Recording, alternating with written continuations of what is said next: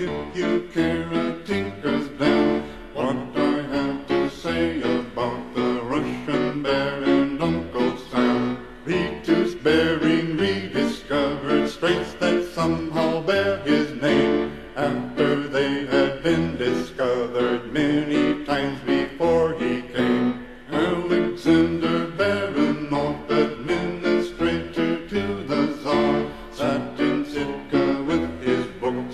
paintings, eating caviar. Then in 1867, Seward bought it for a song. Sing a song of seven million and a fifth of something strong. Paying for itself in gold some twenty times the price he paid. Seward's folly was by golly